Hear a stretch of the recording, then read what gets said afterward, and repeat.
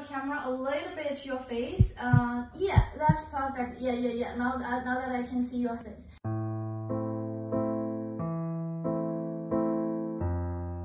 How would you comment on the European way of handling this crisis?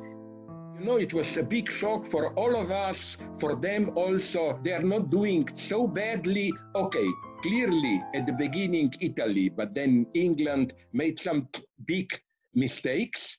But what more shocks me is I think that European solidarity didn't work although we were all talking about helping each other, it was basically everybody is on his, her own. It, it, Italians are right to complain here. So what makes me very sad is that instead of making coronavirus epidemics the big proof, the demonstration of European solidarity, everybody is silently becoming aware that maybe this was the death blow to European unity, which is very sad.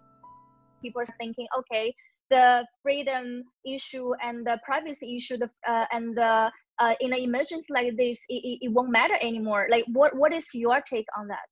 You know why I'm not so much afraid of this? It's not that we'll now be confronting an all powerful government which will know everything about us. No, governments are basically desperate. People expect governments, people, at least in Europe, most of us, we gladly comply with these lockdowns and so on. But we want them to work. Second thing, you notice how left is small minority in those who protest lockdowns. Mostly it's the populist right in Germany, Alternative für Deutschland, in United States, local Trump right-wing partisans and so on.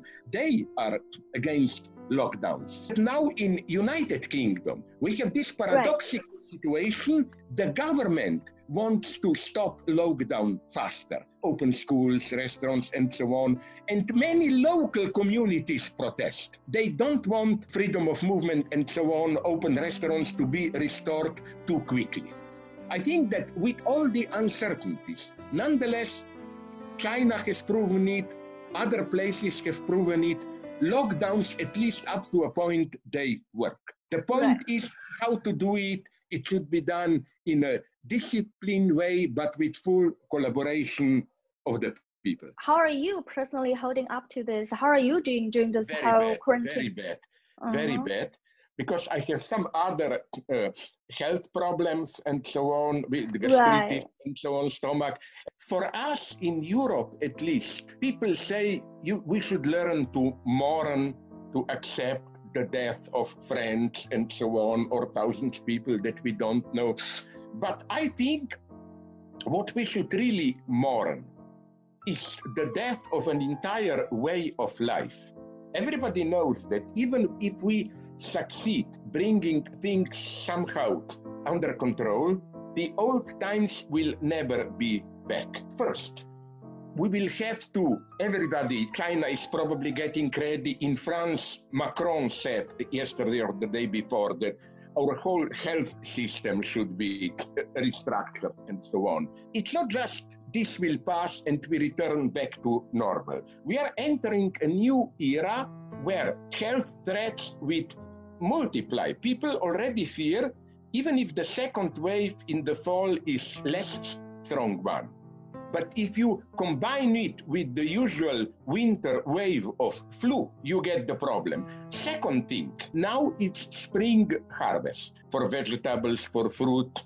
And many European countries rely on foreign workers from African countries. And now the harvest is rotting on the fields. And I think I support the idea that somebody in British government proposed that simply those who are temporarily unemployed, they should be mobilized to do this. I think these are extraordinary circumstances, and the priorities should be not market, start car production again, and so on. Priorities should be and this is why I use the word communism. Crucial things has to be taken care of.